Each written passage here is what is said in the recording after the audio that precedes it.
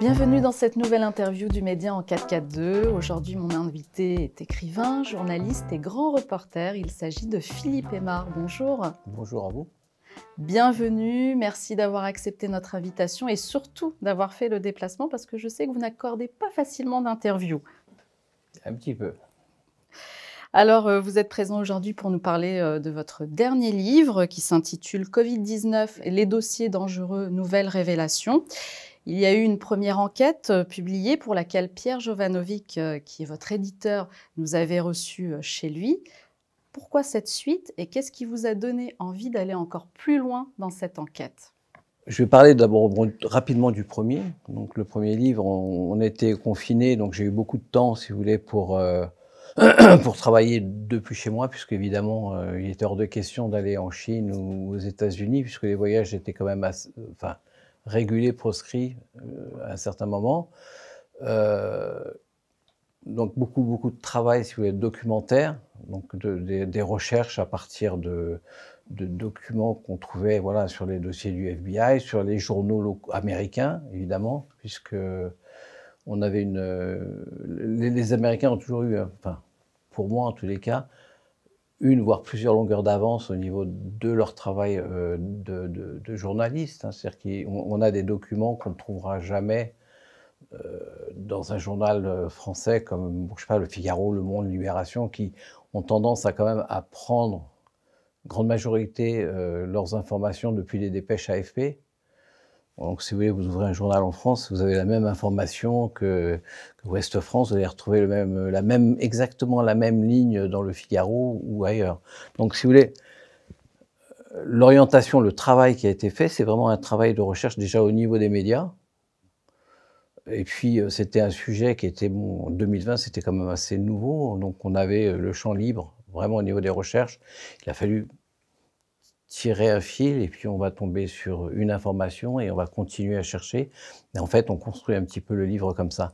Sur le deuxième livre, c'est un peu différent, c'est-à-dire que euh, après avoir fait le premier euh, bouquin, on avait une histoire qui, on a vu euh, tourner sur Bill Gates, la rencontre avec Arnaud Carlen, comment il est, il est passé, si vous voulez, du monde de l'informatique au monde du sanitaire, enfin des microbes euh, avec toutes ces histoires médicales, etc. C'est un petit peu ce qu'il a fait alors qu'il n'est pas médecin. on en reparlera tout à l'heure. Mais et puis après, toutes ces histoires de comment d'espionnage.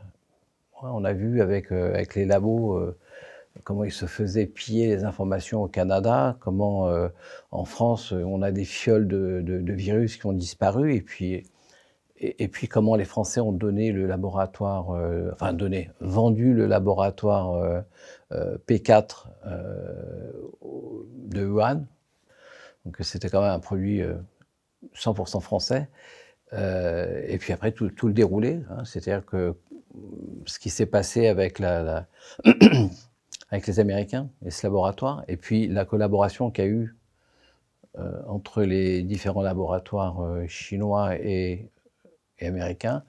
Donc voilà, et on a clôturé, si vous voulez, le, premier livre à un moment T, c'est-à-dire pratiquement un an après le début de, de, de la pandémie, pour euh, arriver aujourd'hui à, à, une espèce de scénario qui est un peu plus complexe, on voit mieux ce qui se passe. Alors, dans ce second livre, justement, vous débutez euh, par une série de morts suspectes. Vous l'aviez déjà fait un peu dans, Le, dans, Le, premier livre. Mais euh, là, vous commencez par la mort de Karim Ulysse, prix Nobel et mhm. inventeur de la méthode PCR, qui euh, décède donc le 7 août 2019. Racontez-nous qu'est-ce qui vous interpelle dans, ce, dans cette mort alors, ce qui est intéressant, c'est que on a, on a, le gars a eu d'abord un prix Nobel. Il ne faut pas l'oublier. Euh, il a fait une méthode de, travail qui était destinée au départ plus, bon, évidemment aux scientifiques, mais aussi qui a été utilisée euh, par la police pour élucider des, meurtres, etc., etc. Et puis, euh, lui-même déclarait que, bon, finalement, les tests, les tests PCR n'étaient pas franchement très fiables. If you, if you, if you can say, if, if, if they wanted, if, if they could find this virus in you at all, And with PCR, if you do it well, you can find almost anything in anybody. It starts making you believe in the sort of Buddhist notion that everything is contained in everything else, right? I mean, because if you can amplify one single molecule up to a, to something that you can really measure, which PCR can do, then there's just very few molecules that you don't have at least one single one of them in your body. Et en fait, là, on a, on a un personnage clé qui disparaît parce que c'est, comme je l'ai écrit un petit peu dans le livre, c'est l'étalon hors du test PCR. Enfin, si, lui euh, disait non, c'est pas valide, toute la stratégie, si vous voulez, de dépistage du Covid bah, s'effondrait, tout simplement. Et malheureusement pour lui, il disparaît voilà, six mois avant le démarrage de la pandémie. Une mort dite suspecte bah, euh, On ne saura jamais. comme beaucoup d'autres. On ne saura jamais. Très vite, vous enchaînez sur une véritable enquête qui est ciblée autour de Bill Gates, que vous associez et que vous comparez à Thomas Malthus. Alors Thomas Malthus, prêtre euh, anglais du XVIIIe siècle, Tout à fait. Euh, qui écrit beaucoup sur les mathématiques, sur l'économie de l'époque, mhm. et qui a une théorie, celle du mariage tardif, pour éviter la surpopulation. Ouais. Alors racontez-nous comment vous faites le lien entre ces deux personnages. Alors, euh, en fait, c'est pas moi qui le fais, c'est Bill Gates qui est élevé dans, dans, une famille très traditionnelle, euh, dont, les parents euh, sont malthusiens aussi. Hein. Ils, pensent que euh, une surpopulation peut mettre en danger nos sociétés. Donc Bill Gates est vraiment, je dirais, baigné dans cette ambiance. Et il va reprendre naturellement, si vous voulez, un peu le flambeau, et il va défendre cette idée du danger de la surpopulation. Il va, découvrir ce, statisticien suédois, donc Hans Rosling, et il va comprendre, ou en tout cas utiliser les théories de, cette personne pour dire bah, finalement, Malthus euh, avait peut-être tort. Euh, je pense qu'il faut voir un peu différemment la chose. Enfin, c'est expliqué de toute manière comme d'habitude avec Bill Gates, il fait pas mal de, plagiat sans vraiment apporter, euh, apporter la source de, ses idées. Alors, en ce qui concerne Bill Gates, comment passe-t-on euh, de, l'homme qu'il était, un simple geek, hein, si je peux me permettre de le dire, timide, introverti, au multimilliardaire, philanthrope, entre guillemets, parce qu'un philanthrope, c'est quelqu'un qui est généreux et, désintéressé, à l'homme d'affaires et euh, à la tête et aux commandes d'une conspiration mondiale. Comment on fait pour passer de l'un à l'autre? Il a effectivement ce, toute cette partie, si vous voulez, jusqu'en 95-97, il, est vraiment dans le Microsoft, hein, dans, son business. Euh, dans son business. Il devient un des plus jeunes euh, milliardaires américains, en tous les cas. Euh, c'était un peu la coqueluche des, médias de l'époque. Il, est embourbé avec l'État américain qui l'accuse d'avoir le monopole de, son business sur les softwares, je crois. bref. Et il se passe, bon ça je reviens sur le premier livre, en fait il se passe un événement assez intéressant où il va être interviewé par euh, le magazine George. ils vont lui consacrer 6 ou 8 pages dans, le magazine.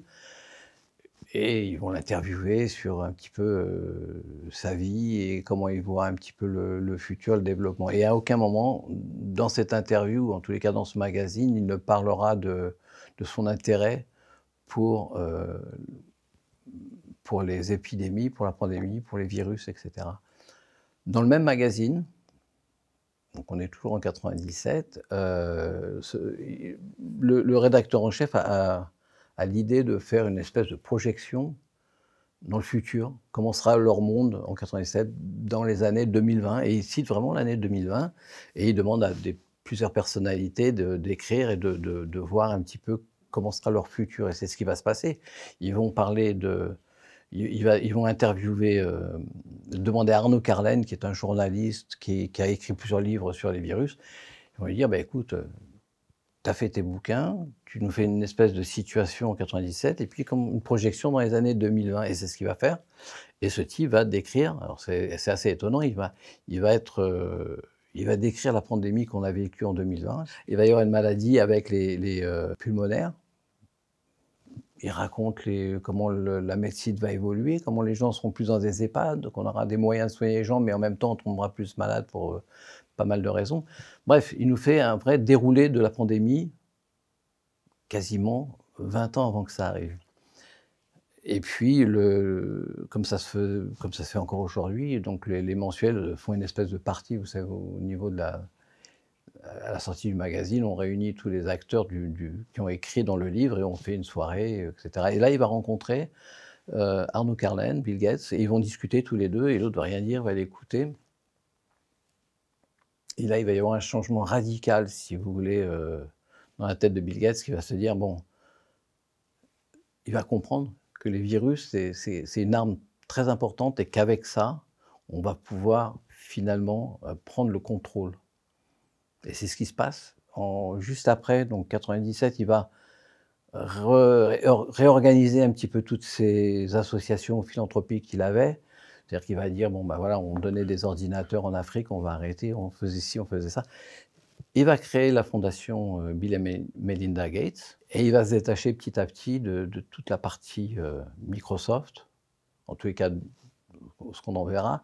Il va se détacher de ça pour se consacrer de plus en plus à sa fondation et, et, son intérêt pour, euh, pour les vaccins, pour la polio, pour l'OMS, etc., etc.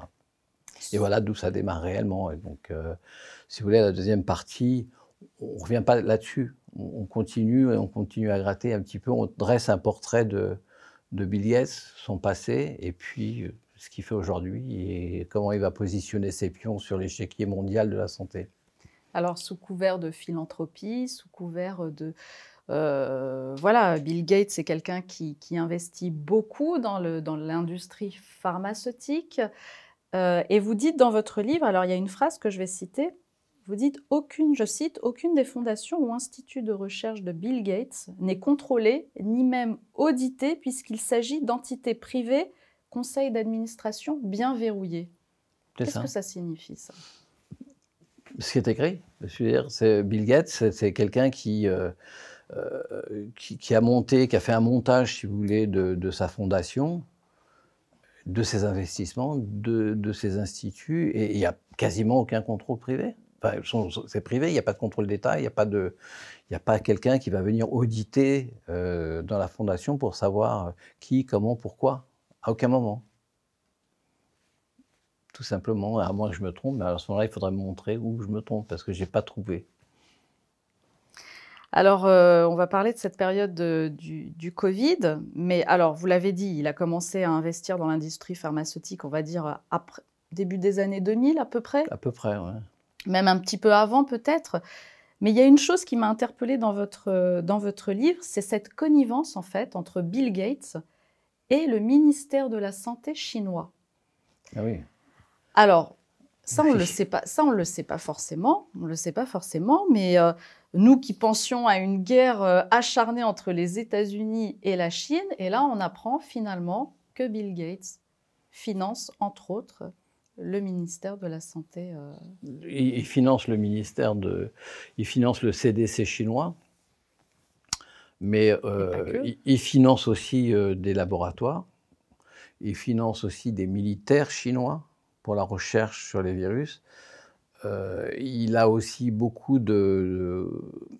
La presse aussi. Il, suffit, il suffit. en fait, vous, comme tous les, toutes les personnes, peuvent regarder où va son argent, puisqu'ils ont obligation, si vous voulez, de, de lister tous les, tous les fonds qui font, enfin tous les, euh, toutes les bourses qu'ils vont donner, tout l'argent qu'ils vont le donner, ils ont cette obligation de le lister. Donc ça, pour le, pour, la fiscalité, et puis parce que voilà, c'est quelque chose qui est, obligatoire. Donc, si vous prenez la fondation et vous regardez où va l'argent, vous allez voir où ça va tomber. Donc ça va tomber euh, sur des laboratoires de recherche, sur des instituts euh, de recherche, sur des universités euh, chinoises, sur des ministères du CDC. Enfin bon, il y a, tout il y a toute une liste de,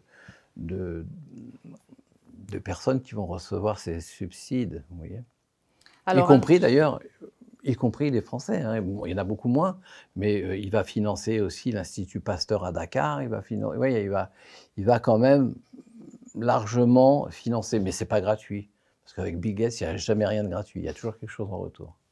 Alors, comment ça se passe, ce retour?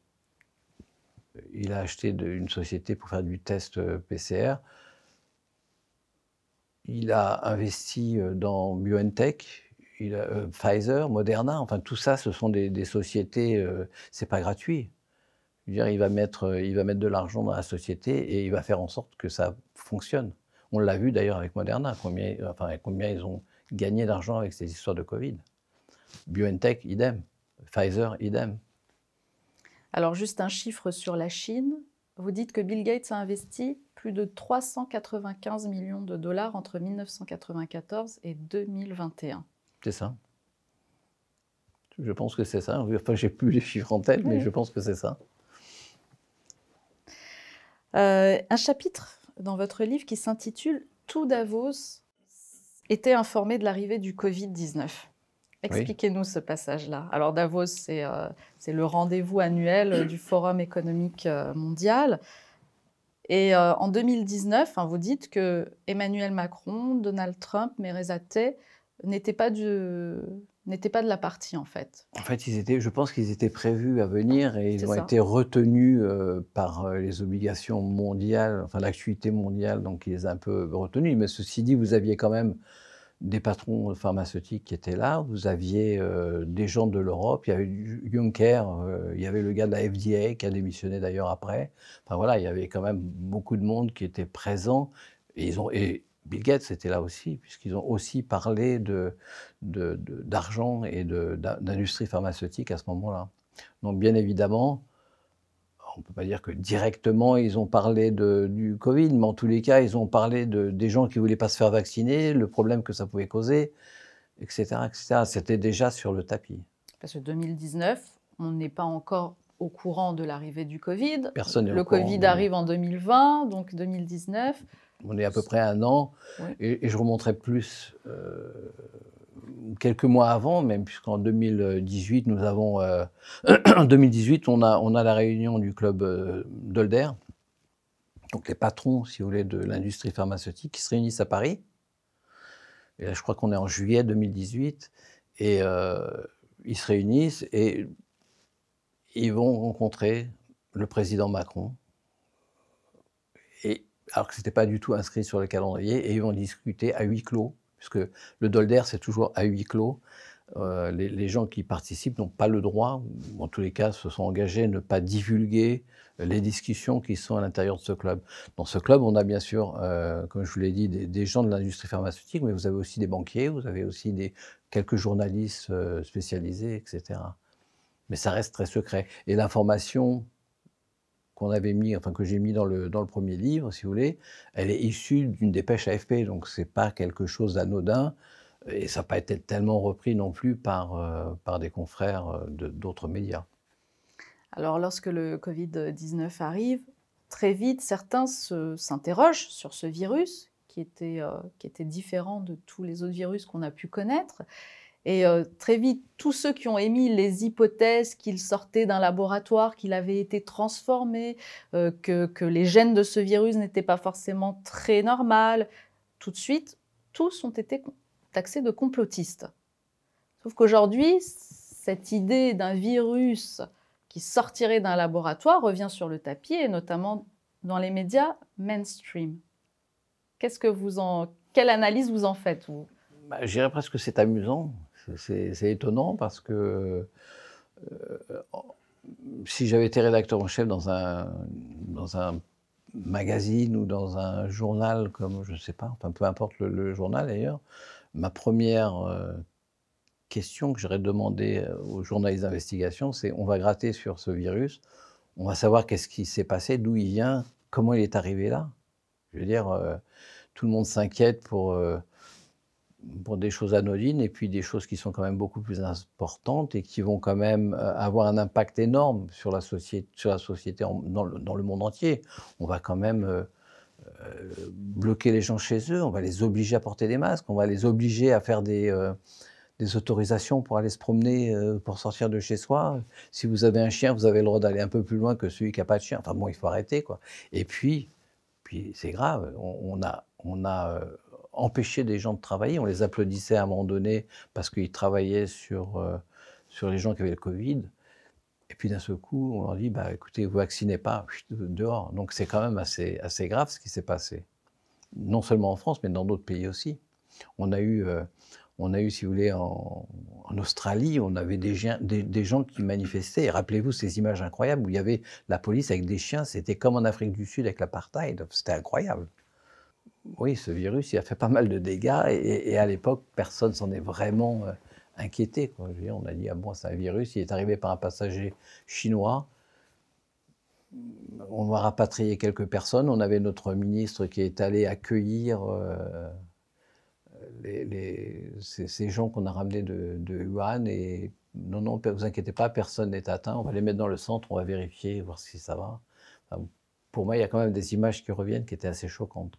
On ramènera sur le territoire français euh, environ 200 personnes vendredi dans la journée. Et il ramènera a priori des personnes qui sur place ne présentent pas de symptômes. Alors, qu'est-ce qui se passe? Alors moi, Qu'est-ce qui se passe? Quand euh, on a par exemple le porte-parole du ministère euh, des Affaires étrangères chinois, Zhao Lijian, je ne sais pas si je prononce bien, qui a annoncé en 2020 que les États-Unis avaient probablement dispersé le virus, le Covid-19, durant les Jeux militaires de Wuhan, les Jeux militaires qui ont eu lieu vers octobre-novembre 2019. Euh, Et d'un autre côté, on a Bill Gates qui finance les laboratoires chinois, qui, c'est deux choses différentes. Enfin, je pense qu'il y a deux choses différentes. D'un côté, vous avez l'État chinois, l'État français, l'État euh, allemand, suisse, enfin ce que vous voulez. Et puis de l'autre côté, il y a toute l'industrie euh, privée, tout, le, si vous voulez, tout cette espèce de consortium pharmaceutique de l'industrie pharmaceutique, mais aussi de l'armement, etc. Enfin voilà, c'est un, un, énorme consortium. C'est, j'allais dire, c'est des États indépendants au sein de, dans, dans, dans d'autres États. Donc c'est quand même compliqué. Quand vous parlez de la Chine, par exemple, vous avez effectivement le ministre, le ministre de, des Affaires, dans l'Europe, je ne sais pas quel titre il a, ou en tous les cas, je crois qu'il représente, il est porte-parole, voilà. Il est porte-parole des affaires étrangères euh, chinois, et il va faire une allocution incroyable. Il va dire, euh, oui, c'est probablement les Américains qui ont dispersé ce virus euh, lors des Jeux olympiques. Sauf que le gars, il n'est pas, il, il pas idiot, il ne va pas jeter une information comme ça. Ce qui se passe, c'est que vous avez le patron du CDC américain qui est interviewé par des sénateurs, et il va être interrogé, et il va avoir des réponses un peu confuses, si vous voulez, par rapport au Covid. Mais vraiment, vous reprenez ces déclarations, c'est euh, d'ailleurs je crois que je, je les ai euh, reprises dans le livre, il, fait des, il, fait des, il répond à des questions, mais de manière tellement évasive qu'effectivement, les Chinois se disent Mais attendez, qu'est-ce qu'ils sont en train de dire? Et quasiment en temps réel, ils vont, ils vont répliquer. Ils vont dire Bah oui, mais attendez, euh, nous, peut-être qu'on n'y est pour rien, finalement, c'est peut-être eux. Et en fait, c'est ce qui se passe. Alors, on va, on va rester sur le rôle des États-Unis, parce que j'ai l'impression qu'ils ont un grand rôle, en fait. Euh, ils ne sont pas tout seuls, bien sûr, mais oui. Et on va parler du début de la guerre en Ukraine que vous, que vous évoquez dans, dans, ce second livre. Et très vite, la Russie qui accuse les États-Unis. Alors, avant de parler de ça, Dites-moi. On, va, on va en parler bien évidemment, mais avant de parler de ça, moi j'aimerais quand même terminer sur, euh, sur la Chine. Euh, il y a quand même des événements. vous me dites pourquoi vous avez fait le livre numéro 2, mais en fait, si vous reprenez déjà le numéro 1, vous avez des événements qui se sont déroulés avant la crise Covid. On parlait des Jeux de Wuhan euh, avec l'accusation, qui est quand même assez grave, du, porte-parole du ministère des Affaires étrangères euh, chinois. Vous avez à un moment donné, euh, au même moment que ces Jeux olympiques, vous avez une répétition à New York qui s'appelle Event 201. Dans le deuxième livre, on a repris d'ailleurs hein, les, personnages qui étaient à cette réunion et vous avez euh, des, postes clés qui sont, qui sont représentés. Vous avez une ancienne patronne de la CIA ou bras droit de la CIA, enfin direct, elle, a un poste important. Aujourd'hui, elle est devenue patronne de l'ensemble des. Enfin, c'est elle qui, dirige toutes les agences de, renseignement américaines. C'est quand même incroyable. Vous avez donc cette Avril Haines, cette personne. Vous avez euh, un type qui représente le CDC, CDC chinois, pardon, Gao, le chinois, qui va dire, qui a participé donc à cette réunion en 2019, et qui en 2020 va dire, mais finalement, vous savez, les vaccins euh, traditionnels euh, qu'on a contre le Covid, peut-être ils ne fonctionnent pas très bien, peut-être qu'il faudrait qu'on utilise les, vaccins occidentaux avec les, ARN messagers. déjà, c'est quand même le type, va contre-courant de, la parole de son pays. C'est quand même assez stupéfiant. Vous avez euh, les gens de la communication, les gens qui vont brider la communication des réseaux sociaux. On en parle en 2019, tout de suite après, ils vont partir voir Facebook, les Twitter, euh, enfin, tous les réseaux sociaux qu'on a, et ils vont verrouiller l'information.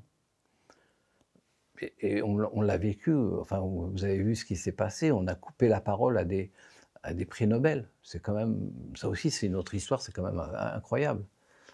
On empêche un prix Nobel qui a découvert un médicament qui éventuellement pourrait soigner du Covid, on l'empêche de discuter, on lui dit Mais attendez, vous racontez des bêtises. Vous n'avez pas le droit à la parole et on vous censure. Et ils ont été jusqu'à censurer un président américain, peu importe les conneries que vous pouvez raconter, mais en tous les cas, ils ont quand même réussi à le censurer. Ce qui est hallucinant. Imaginez euh, Twitter qui, qui bloque la parole de Macron. Bah, voilà, c'est ce qu'ils ont fait avec les Américains. Donc, euh, il y a vraiment un verrouillage au niveau des réseaux sociaux, au niveau de la communication, qui a été décidé justement pendant cette répétition et vente de soins. Donc au sein des plus hauts, c'est comme s'il y avait deux clans finalement. Oui, on peut, considérer. Euh, si on réduit euh, la pensée. Euh, bah, ça c'est un peu.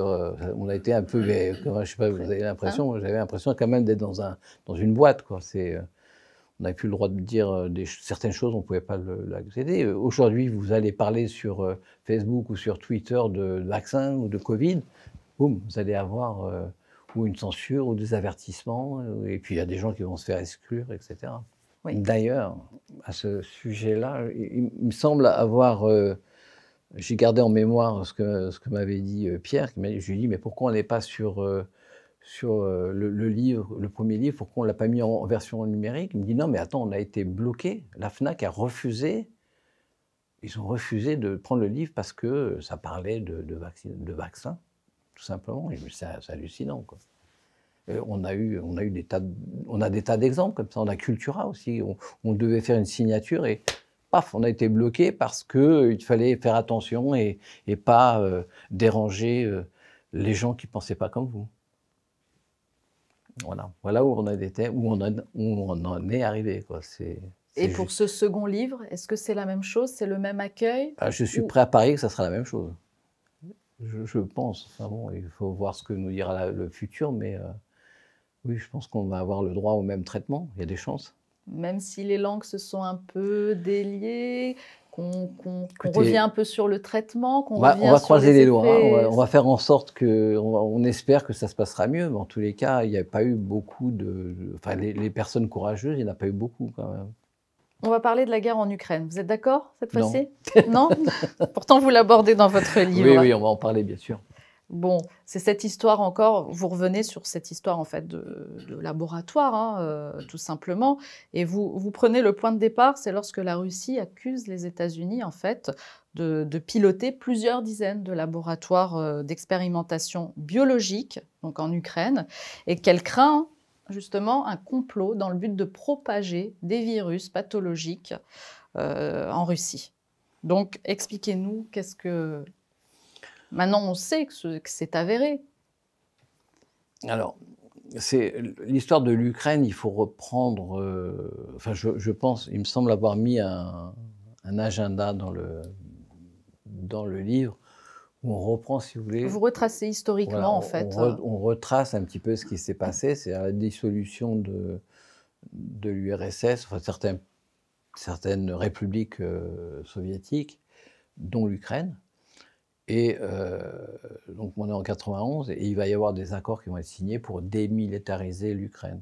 On va retirer euh, tout ce qui est nucléaire, on va retirer les bases de bombardement nucléaire, et puis bien évidemment, on va dire, on va nettoyer les laboratoires de recherche pour la guerre biologique. Et c'est ce qui va se passer. Donc les Américains vont créer une agence, ou ont déjà leur agence, je ne sais plus exactement, qui s'appelle la DTRA, et ils vont dire, on va financer, nous, Américains, on va financer le nettoyage de, ces laboratoires, entre autres. Donc c'est ce qu'ils vont, ils vont faire, ils vont envoyer des gens, ils vont créer des sociétés privées sous contrat avec l'État américain pour faire le grand nettoyage. Et en fait, ils vont nettoyer, mais ils vont surtout récupérer de l'information, ils vont créer des laboratoires pour nettoyer les laboratoires. Enfin, ils vont, voilà, c'est un peu le, gros, euh, la grosse lessiveuse. Euh, c'est complexe, il y a beaucoup d'argent qui circule, et puis il y a un personnage, euh, il y a un personnage central qui va faire transiter cet argent qu'on va retrouver avec le labo de Wuhan, c'est Peter Daszak qui est anglais, mais qui est quand même d'origine ukrainienne. Donc, euh, lui, il va, faire euh, en sorte que l'argent des agences américaines transite via, parce qu'on ne pouvait pas dire, on va payer directement ces gens-là, on ne va pas payer directement les, Chinois, on ne va pas payer directement les Ukrainiens, donc on va faire transiter l'argent via Dazak et on va financer comme ça euh, des, nouvelles, des nouveaux labos ou des nouvelles recherches ou encore euh, des nouvelles sociétés qui vont être euh, en charge de développer, de nettoyer ou de protéger les Ukrainiens. Alors c'est une guerre euh, géopolitique. Est-ce qu'on peut dire que c'est une guerre aussi bactériologique? Je pense qu'on est tous. Oui, on a eu. attendez, on, a eu combien de victimes officielles du Covid?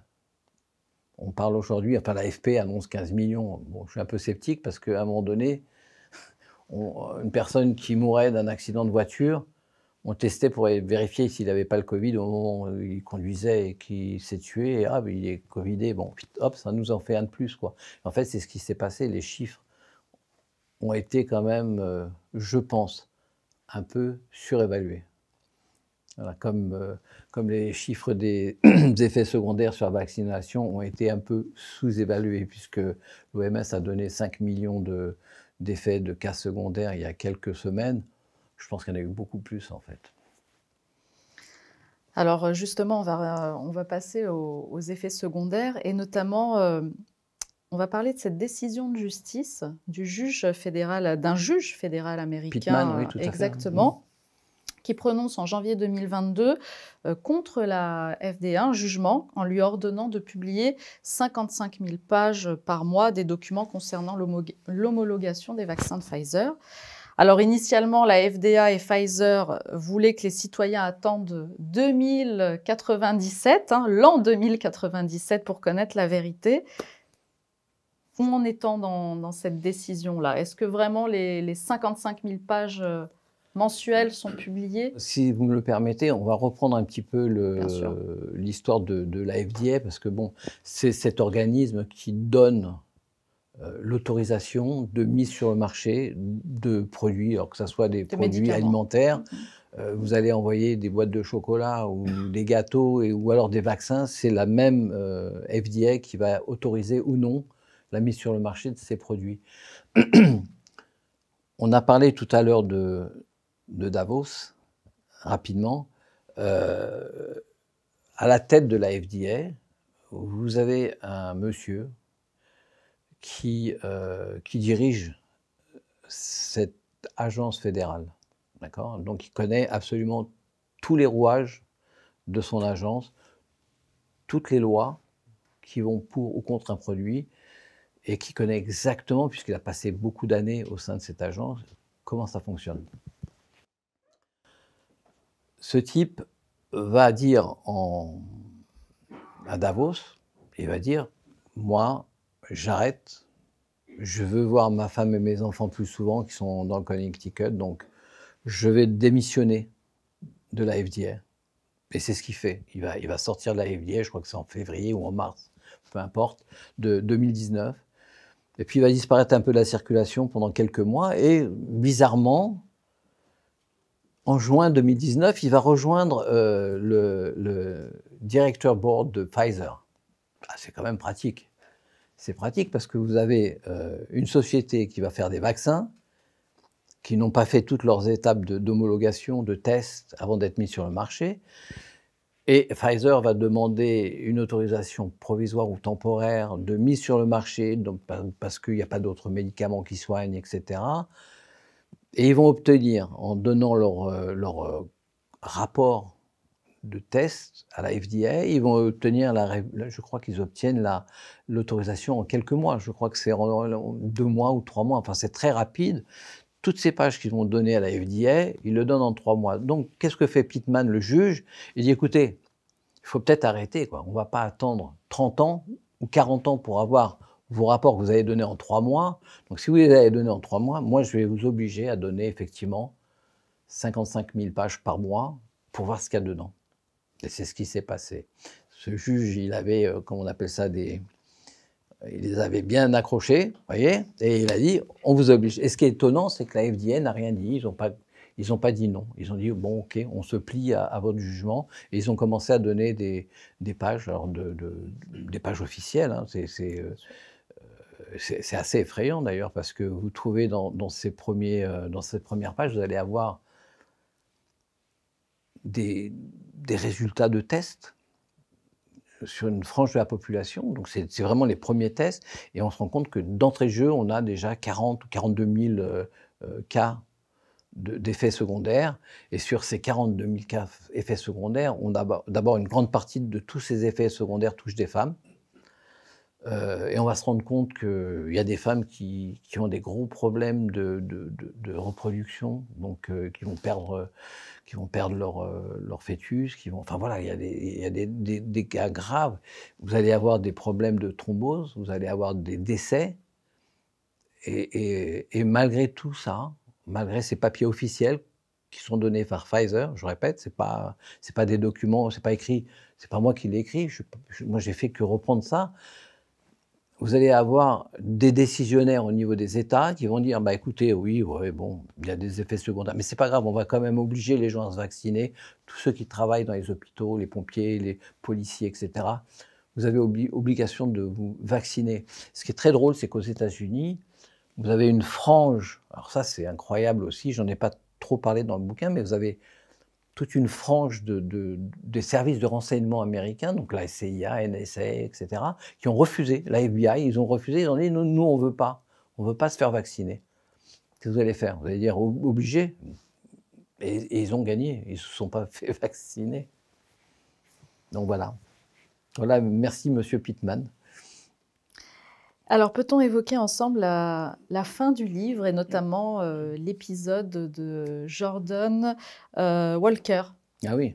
Ce directeur euh, pour la recherche et le développement de Pfizer et cette petite déconvenue qui lui est arrivée lorsqu'il se fait piéger par, par un pseudo en fait rendez-vous amoureux. C'est pour ça que je comprends que c'est bizarre. J'espère qu'on ne découvrira pas que cet ARNM reste dans le corps et qu'il affecte quelque chose d'hormonal pour avoir un impact sur les cycles menstruels.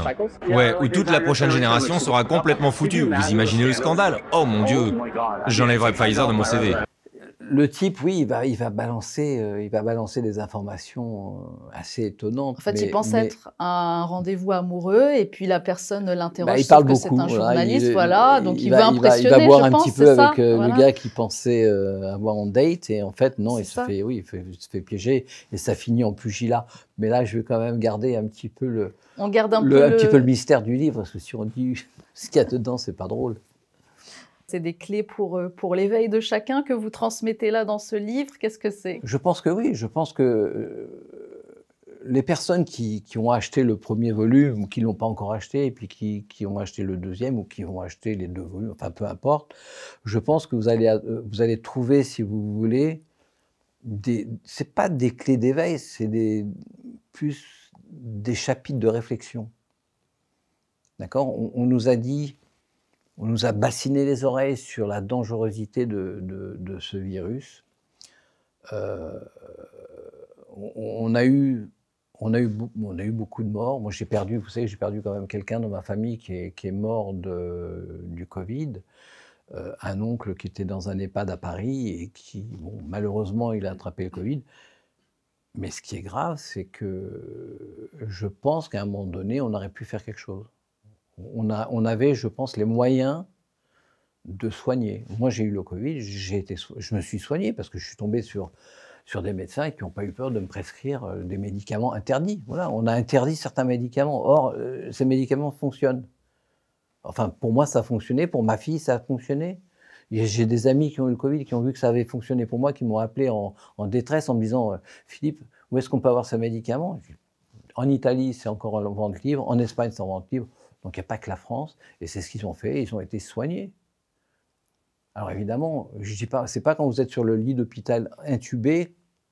En plus, je suis pas médecin, donc euh, fais attention à ce que je dis. Mais c'est pas quand vous êtes sur un, lit d'hôpital intubé et que c'est trop tard, on dit, on va lui donner ses médicaments. Ah ben non, ça marche pas. Le, bah oui, le mec est déjà à moitié mort. Mais si vous prenez au début, je pense, encore une fois, je ne veux pas répondre, de j'ai pas le droit de, dire oui, ça marche ou ça marche pas. Ça a fonctionné pour moi, ça a fonctionné pour certains membres de ma famille ou des amis ça fonctionne peut-être pas pour tout le monde. Euh, encore une fois, je ne me permettrai pas de, dire qu'il faut le faire ou ne peut pas faire. Simplement, j'ai pas vu d'effort. J'ai pas vu un, effort de nos dirigeants en disant on va quand même essayer de soigner ces gens. Et c'est ce qu'ils ont fait, je crois. il y a des États en Inde qui ont dit stop à la vaccination de, des vaccins, Bill Gates et compagnie, parce qu'ils avaient quand même investi beaucoup d'argent pour ça. Et ils ont dit stop, on va arrêter et on va soigner les gens. Et c'est ce qui s'est passé. Il suffit de prendre les cours, les statistiques et vous allez voir ce qui s'est passé. Sur le bateau, dans mon premier livre, je dis voilà, il y, a, un bateau de croisière, il y a une épidémie dans ce bateau, 3700 personnes, il y a 15 morts. On fait le ratio en stats, enfin je veux dire en mathématiques, il ne faut pas être stupide. 15 morts, 3700 personnes. On est à combien de taux de mortalité là? On est à 2%, 8% Non, on est à 0,0 quelque chose. C'est QFD. Alors, qu'est-ce qu'on peut espérer pour l'avenir? Pour l'avenir? Un Covid bis?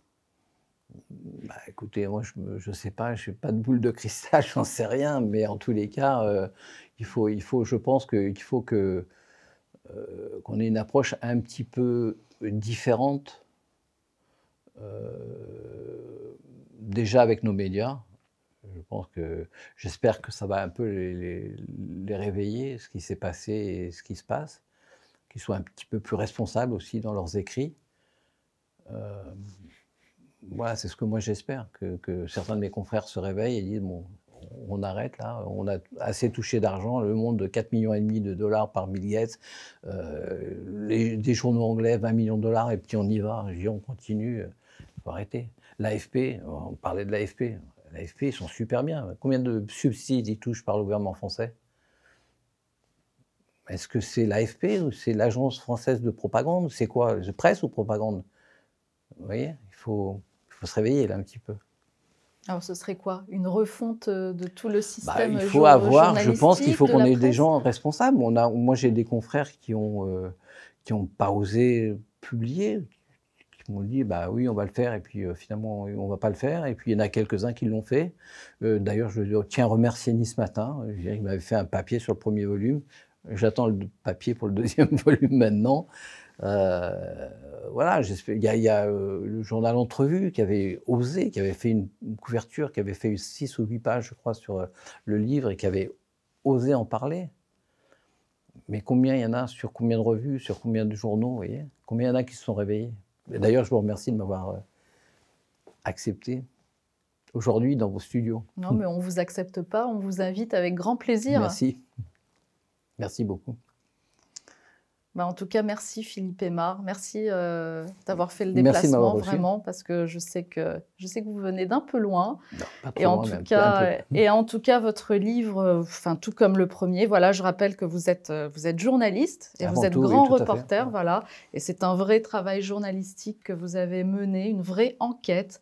Donc, euh, je salue votre travail et puis vous avez bien fait de rappeler ce qu'était le journalisme. Voilà, on en a besoin encore, euh, des journalistes comme vous. Merci, beaucoup. Euh, pour terminer, j'aimerais que vous signiez notre livre noir. Alors, je l'appelle plus livre d'or, maintenant c'est livre noir. Si vous êtes d'accord pour nous laisser une petite dédicace avant la fin de, cette émission. et puis, je voudrais juste rappeler que le Média en 442, c'est un média entièrement créé par le peuple et pour le peuple. C'est un média totalement libre. Nous ne bénéficions d'aucune aide ni d'aucun soutien, que ce soit euh, d'un quelconque groupe, structure ou encore association. Nous ne recevons aucun financement lancement, seuls vos dons sont notre unique soutien. Il était bon de le rappeler. Merci de votre fidélité et merci à tous. Merci à vous.